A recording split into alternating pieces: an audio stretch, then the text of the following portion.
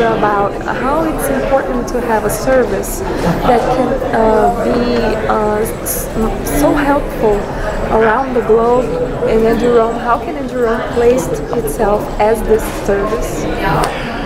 So, what, what, what I also talked about in my presentation is that um, the, the, the world of science has become one.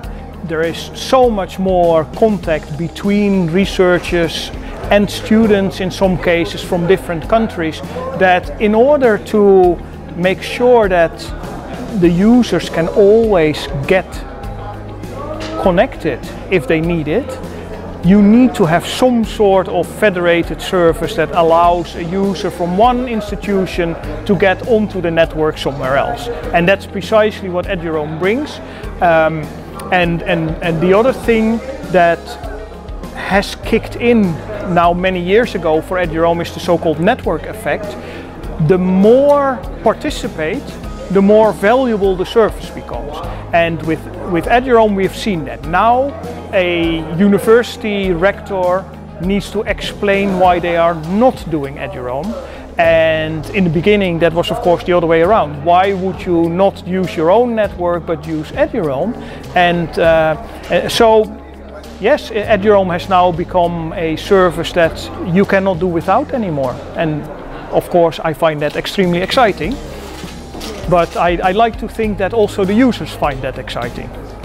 Course. And you were also talking about how people are as much important as the technology. And TICAL is a community. Yes. It's a network made of people. So uh, how can you see this uh, event as an opportunity to join people around? Yeah, so, so um, I, I, I'm strongly convinced that none of us here but none of us anywhere by themselves can do everything.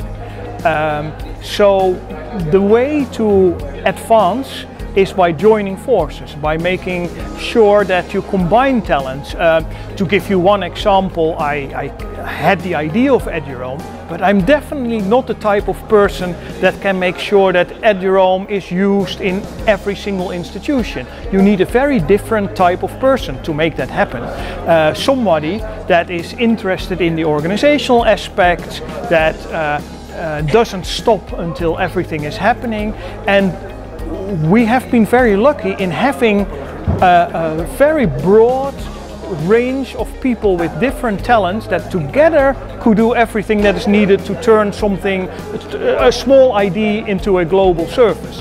And the only way that can work is by having a group of people that have some basic level of trust in each other and that allow other people to be successful.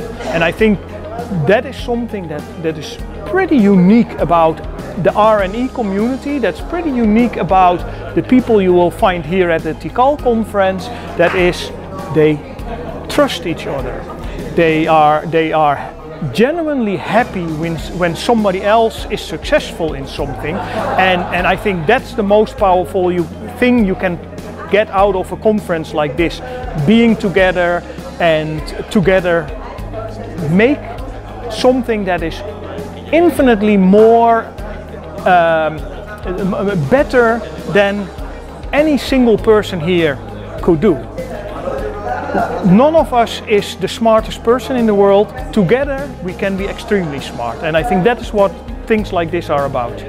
Perfect. Can you tell us about uh, how it's going your first day here in TICAL? Are you enjoying it, the experience? I'm enjoying it very much. I um, um, I, I, really like, and I've worked throughout the years with a lot of people from Latin America on Eduroam, on other things, and uh, and it's really great to be here and and meet uh, all the people in their uh, own environment, if if you want, uh, and uh, yeah, it's just a great experience to be here.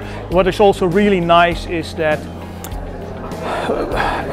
to some extent, in Europe. We have become a little bit blasé perhaps. Uh, we've been doing this for many years. Uh, we, we take it as a given and it's it's really very very stimulating to see the enthusiasm here. Uh, people really care about making this happen, and uh, and that's just wonderful to be part of, of a group like that.